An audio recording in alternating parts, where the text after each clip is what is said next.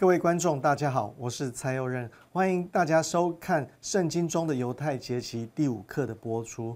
那我们今天要谈的是逾越节的第二部分。首先，我们再一次来复习我们上一集课程的内容。上一集提到逾越节主要是的目的是为了要纪念当年上帝透过摩西带领以色列百姓离开埃及的经过。此外呢，也有一些犹太教的学者认为，逾越节其实是一个合并畜牧以及农耕的一个庆典，主要是这个时令已经开始正式进入春天了。第三个呢，逾越节的晚餐是整个逾越节的重头戏，透过晚餐可以帮助与会者明白上帝的救赎计划，同时也将信仰传承给下一代。此外，晚餐的桌上还会摆放着逾越节专用的盘子，盘子内内会有五道菜，分别象征逾越节由来的这些食物。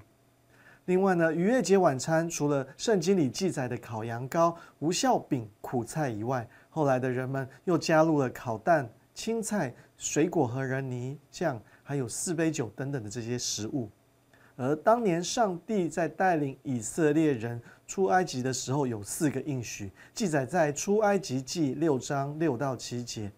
这四个应许分别是带你脱离重担，释放你出埃及，用大能的膀臂救赎你，以你做我的百姓。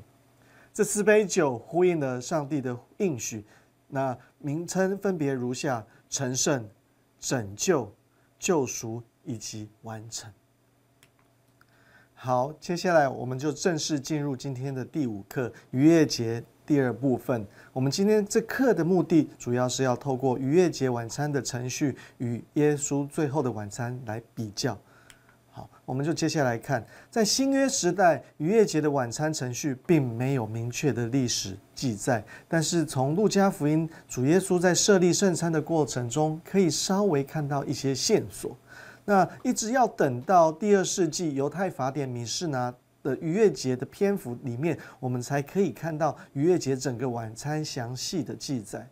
在用餐的过程中呢，会照着桌子上的有一个小册子，这小册子叫做哈嘎达哈加达来进行。那这本哈嘎达里面写的是什么呢？里面的内容主要是要用来描述出埃及的历史事件，同时也列出晚宴里应当遵行的事项。以及各样食物的解释，包括颂赞上帝施行神迹，将以色列人带离埃及的诗篇和颂歌。接下来我们来看这一张图，大家没有发现里面有一个很熟悉的人物呢？是的，没错，就是美国总统奥巴马。那他也是这个图，他也可以看出来，他也在参加逾越节的晚餐。每一个人手上拿的那一个小册子，就是我们刚刚所说的哈嘎达。大家各位观众有没有发现，奥巴马把他的手放在杯子里面呢？这个是一个习俗。当主餐者在带领整个逾越节晚餐的时候，他会讲到当时候摩西和法老王之间的这样的一个食斋的过程。每讲一个斋，他就会把手放在酒杯里面，把酒点一下，把它洒出来。那我们就接下来看整个逾越节的晚餐的程序。那我们不会花太多时间，但我会一个一个的把它讲出来。那第一个晚餐的程序叫 Kadesh，就是第一杯酒注谢的。接下来呢，第二个程序是 u d h a s 意思是洗手洁净。第三个呢，则是 Karpas，那时候就是吃盐水的，沾了盐水的青菜。第四个呢，叫 Yahats。就是主餐主领者剥开了第二块无效饼，并将另一块藏起来做阿菲科曼的这个甜点。第五个呢叫 Magid，讲述逾越节的故事。那由在场最小的孩子要问四个问题，为主要是为了要解释逾越节由来的设定方向。那在这个过程中会喝第二杯酒。第六个叫 Raksa。是第二次洗手，预备接下来要吃饼。第七个叫 Mozi，一般性的吃饼注谢。第八个叫 Mata，这个是一个特别性的吃饼注谢。第九个叫 Maror，主要是要来吃苦菜。那这个时候呢，也可以用苦菜来沾泥酱来吃。第十个叫 Korech，又称为西列三明治。这西列三明治是用第三块饼夹苦菜一起一起吃。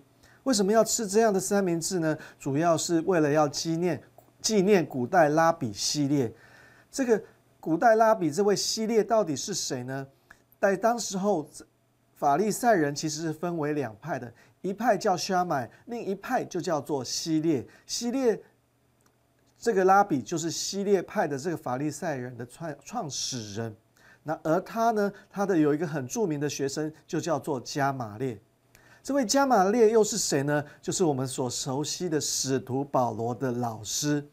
好，你我们就可以看到，保罗其实他的学习从西西西法利赛人所这些思想过来的，是由他的这位师祖希列影响来的。第十一个则称为 Shulahan Ora，这个时候就是要正式开始吃逾越节的晚餐。第十二个叫 Chafun。这个时候是要付赎金给那些找到甜点的小孩。好，那第十三个呢叫 Barek，这就是餐后的祝福和感恩祷告。这个时候要喝第三杯酒。第十四第十四个呢，则是称为 Hallel，这个时候是要来唱赞美诗。那这赞美诗是什么？其实这赞这群这些赞美诗有一个名称，就是叫做 Hallel。这是由诗篇一百一十三篇到一百一十八篇，无论是逾越节、五旬节，还有祝棚节，犹太人都会来唱这个 Hallel 这些赞美诗篇。那当唱完这些赞美诗的时候，就会来喝第四杯酒。第十五个程序是什么？叫尼撒，这个是宴会结束后彼此互相祝福。那这时候晚餐，每一个人都要彼此说明年耶路撒冷再相见。刚刚我们所讲的这些十五个程序，就是整个逾越节晚餐所有的程序。那我们就简述，就像刚刚所讲的这些。然而，在整个晚餐的过程中，出现了许多关于四。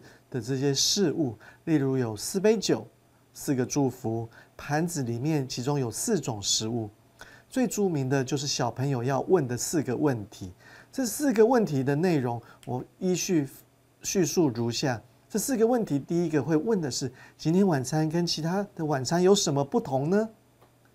第二个会问为什么今天晚餐一定要吃无效饼呢？第三个为什么今晚一定要吃苦菜呢？第四个会问：平常都是可以坐着吃饭，为什么今天却要斜躺着吃饭呢？从这四个问题，我要来问大家一个问题：你认为逾越节的晚餐应该是怎么样去进行的呢？首先，我们要来看这张图片。这张图片我们都很熟悉，我们认为耶稣最后的晚餐应该是这样进行的。那我们接下来看这张图片。这张图片，你有没有发现哪里不一样呢？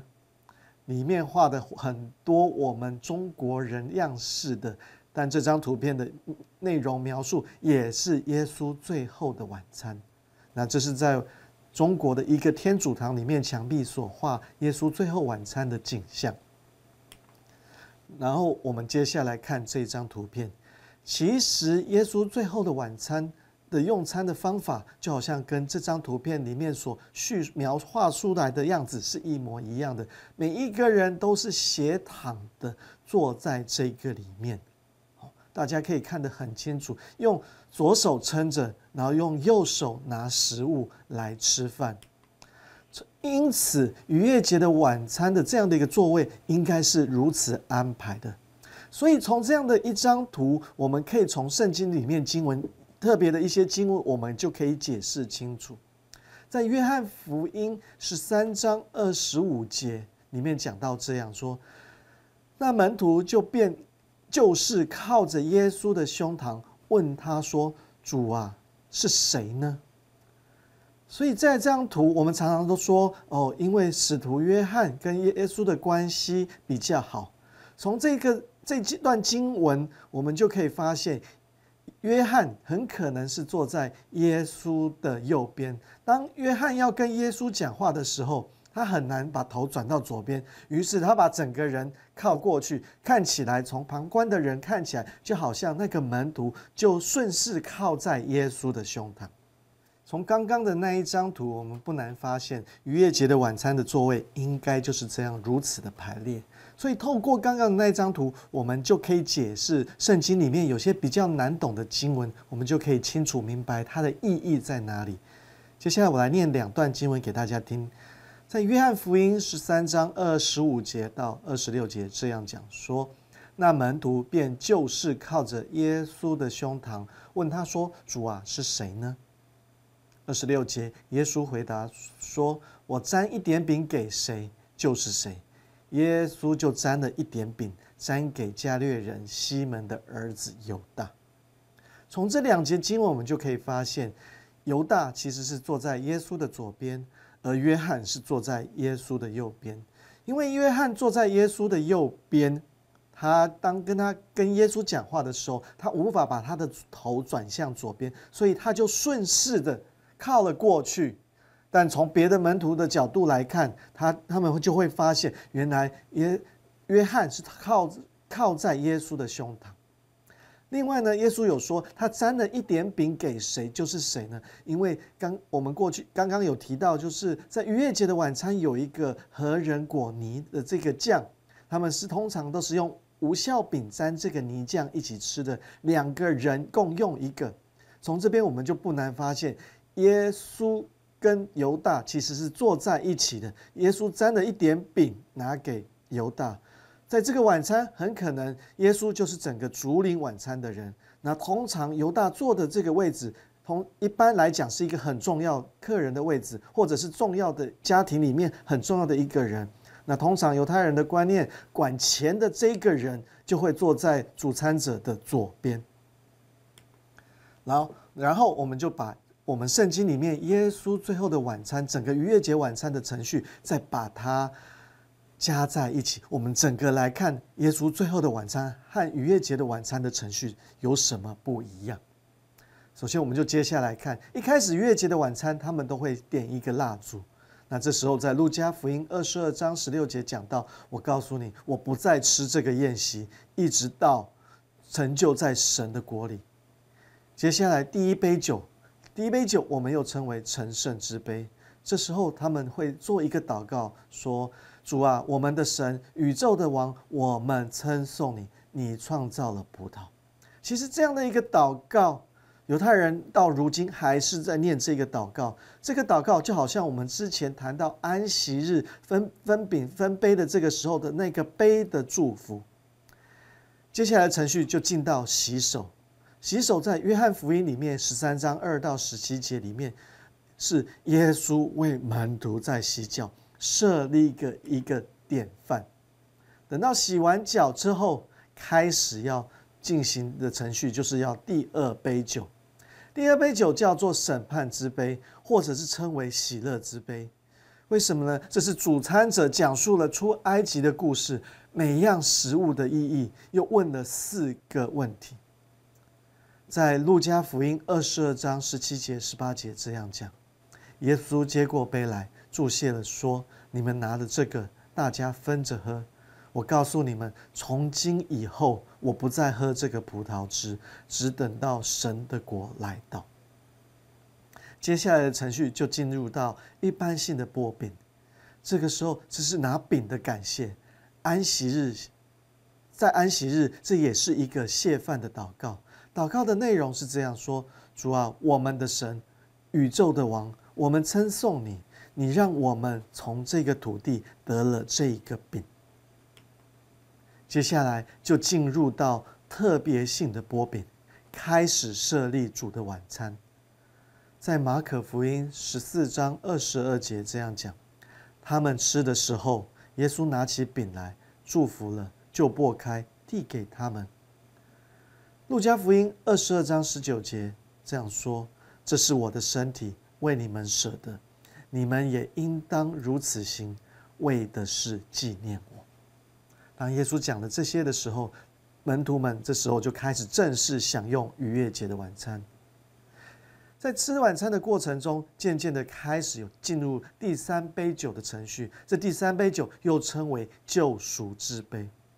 在路加福音二十二章二十节这样说：饭后也照样拿起杯来。马太福音二十六章二十七节这样讲：注谢了，递给他们说：“你们都喝这个吧。”马太福音也接下去这样讲说：“因为这是我立约的血，为多人流出来，为罪得赦。”其实这个时候门徒会非常纳闷，因为这耶稣讲的这一段话，其实是有在犹太人订婚的时候会讲这样的话。可是我们可以看看逾越节的晚餐，第三杯酒称为救赎之杯，那跟耶稣所讲的。这是我立约的血，为多人流出来，为使这个罪得到赦免。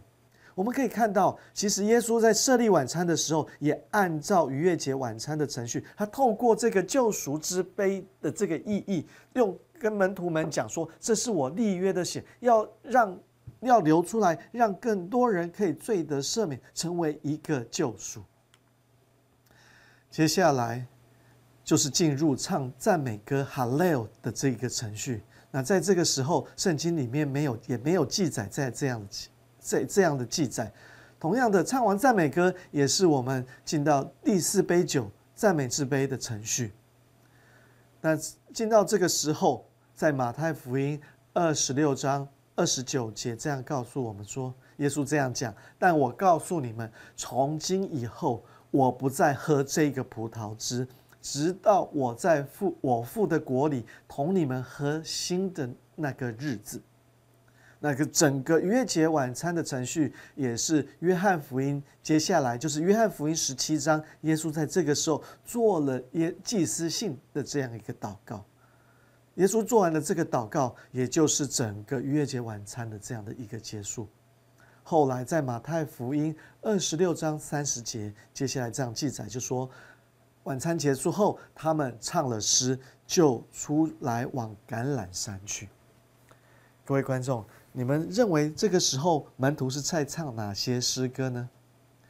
不知道大家有没有这样的一个经验，就是在主日聚会后，你还会在那个时候哼着当天的诗歌，一直在自己的脑海里面呢？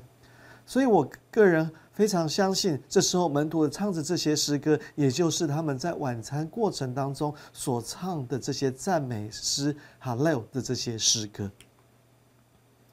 接下来我就要来问说，各位观众，我们基督徒到底要不要来守逾越节呢？在出埃及记十二章四十七节里面讲说，以色列全会众都要守这一个礼。四十八节这样讲。如果有外人寄居在你们中间，愿向耶和华守逾越节，他所有的男子勿要受割礼，然后才容他前来遵守。他也就像本地人一样，但未受割礼的就都不可吃这羊羔。在出埃及记十二章四十九节继续这样讲说：本地人和寄居在你们中间的外人同归一例。其实，对我们基督徒而言，我们很多也几乎忘记逾越节。通常逾越节的晚上，教会都是在过耶稣受受难日。主要教会在庆祝的是三日后的复活节，这个是新约教会最看重的一个节日，就是复复活节。其实，到底基督徒要不要守逾越节呢？以现在的教会历。和犹太历法来看，其实算法已经都不一样了。复活节的算法是怎么样算呢？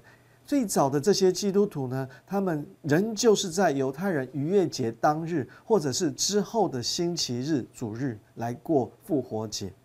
但是，一直到公元第四世纪的时候，在一个教会大公会议，他们决定不再使用了犹太历。但这样怎么样来？过复活节呢？于是他们开会决议，就是在每年春分月圆之后的第一个星期日，这个主日就是复活节。而这个主日的前两天，礼拜五的晚上，就是耶稣的受难日。那基督徒到底要不要守逾越节呢？我们要来看保罗的重点是什么呢？我们来看保罗重点，就是在哥林多前书十一章这样讲二三节：我当日传给你们的，原是从主领受的，就是主耶稣被卖的那一夜，拿起饼来，注谢了，就擘开，说：“这是我的身体，为你们舍的，你们应当如此行，为的是纪念我。”同样的饭后。也照样拿起杯来说：“这杯是我的血所立的新约，你们每逢喝的时候要如此行，为的是纪念我。你们每逢吃这饼、喝这杯，是表明主的死，只等到他来。所以无论何人不按理吃主的饼、喝主的杯，就是干饭主的身、主的血了。人应当自己醒察，然后吃这饼、喝这杯。”因为人吃喝若不分辨是主的身体，就是吃喝自己的罪了。基督徒到底要不要守逾越节呢？其实有一个很重要的重点，就是我们要来纪念主耶稣。纪念耶稣的什么呢？我们要纪念他为我们舍了命，我们要纪念他为我们所流的血。怎么样纪念？不是只有单单在受难日来纪念主耶稣。而是每逢吃这饼、喝这杯的时候，我们要纪念主耶稣。更重要的是，我们要时时刻刻纪念主耶稣。好，刚刚我们所谈的是整个逾越节晚餐的过程，重点就是纪念在我们要纪念主耶稣。那我们这个时候，我们要来看，错过这样的一个逾越节的晚餐，我们对门徒有没有什么误会的地方呢？在马可福音十四章三十七节到三十八节这样讲：耶稣回来了，见他们睡着了，就对彼得说：“西门，你睡着了吗？不能警醒片时吗？总要警醒祷告，免得入了迷惑。你们心灵固然愿意，肉体却软弱了。”其实这一段经文就是在描写，当他耶稣和门徒结束了逾越节晚餐，离开吃饭的地方，走到克西马尼园，在克西马尼园祷告的时候，这样的一个经过。我们通常在读这段经文的时候，我们就会想说：吃顿晚餐真的有这么累吗？为什么门徒被要求警醒祷告，讲了一次两次，怎么这么快又在打盹呢？其实。一顿逾越节的晚餐是要耗时许久，至少要三个小时以上。再加上我们可以从约翰福音来看，耶稣讲了许许多多的话，讲了这么多的话，还再加上逾越节里面的故事，这样一顿晚餐会吃上许久的时间。过去我有一位教会的一位姐妹，她嫁给一个犹太人，她在参加他们家族逾越节的晚餐的时候，常常都是吃到半夜。因此，我们从这边发现，难怪门徒疲倦的原因也是在如此。所以，耶稣一直期待他们可以打起精神来进行祷告。耶稣也很明白他们的软弱，所以耶稣难怪会这样讲：你们心灵固然是愿意的，肉体却是软弱。好，接下来到我们的 Q T 时间，我们要再来重新看待我们整本圣经的逾越节。我们要来看整本圣经有哪些地方记载了逾越节呢？第一个就是出埃及记十二章里面提到的出埃及前的这样的一个逾越节。接下来呢，民数记第九章就是进入旷野后的逾越节。在约书亚记第五章讲到是进迦南后，百姓过了逾越节。在列王记下二十三章、历代志下三十五章里面记载了一个，也是逾越节。这个时候是宗教改革后的逾越节。我可以念这段经文，在列王记下二十三章二十二节这样讲说：这个的这一次的逾越节非常特别，就是这样说：自从士师治理以色列人和以色列王犹大王的时候，一直到如今，实在没有守过这样的一个逾越节。这个时期是约书亚王的时期。同样的，在圣经里面还有一个是这样讲的，就是在历代志下二三十章第一节，西西家差遣人去见以色列和犹大众人，又写信给以法莲和马拿西人，叫他们到耶路撒冷和耶和华的殿。向耶和华以色列的神守逾越节。三十章二第二节这样讲：因为王和众首领并耶路撒冷全会众已经商议，要在二月内守逾越节。圣经这个部分是补过逾越节，然后接下来的逾越节是在以斯拉记第六章，这个时候是被掳归回的逾越节。最后的逾越节。就是在记载在四福音里面，就是耶稣基督所过的逾越节。那而耶稣基督里面讲到的这样的一个月节，就是用耶稣自己、耶稣基督自己本身成为那逾越节的羔羊。当我统计这样我们所看到的，无论是出埃及记、民数记、约书亚记、列列王记、历代志，甚至以斯拉，甚至四福音这些逾越节。都有一个共同的重点，就是每一个逾越节之后都是一个全新的开始。就像我们讲的，刚刚讲的，就是约书亚记里面讲的，他们进迦南地后就过，马上过逾越节，这目的就是要一个新的开始，要开始得地为业。刚刚提到的列王记、历代志，就是宗教改革，又过完的逾越节，又是一个全新的生活开始。甚至在以斯拉记里面讲到的逾越节，他是被掳归回来，回到圣殿重新敬拜，甚至耶稣基督这样的一个逾越节之后，又是一个全新的开始，在我们历史上写下一个新救恩、最新的一个救恩的一章。从这边我们不难发现，耶稣基督是我们逾越节的羔羊。我们是不是要想想看，当我们信主之后，我们是不是有一个全新的开始呢？这我相信保罗也非常明白这样的一个道理。当我们信了主之后，旧事已过，都变成新的。在这边也要勉励我们各位弟兄姐妹，我们信主之后，是不是过了一个全新的生活呢？我们一起来祷告，天父上帝，我们再一次感谢赞美你。透过逾越节的晚餐的程序，我们不难发现，耶稣也在这个逾越节的晚餐，把他的救恩带给我们。主，我们相信，当我们全心信靠你的时候，愿意放下过去的这些行为、罪恶的生活的时候，我相信，主，你逾越节的羔羊，就是已经就是为我们牺牲，让我们可以有一个重新的开始。主，我们也要立志在你面前。当我们决定一心要跟随你的时候，我们就把过去完全放下，全心全意的跟随你，过一个全新基督徒的生活。谢谢你垂听我们在你面前的祷告，是奉靠耶稣基督的圣名，阿门。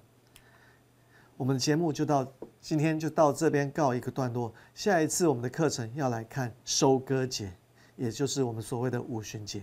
谢谢大家。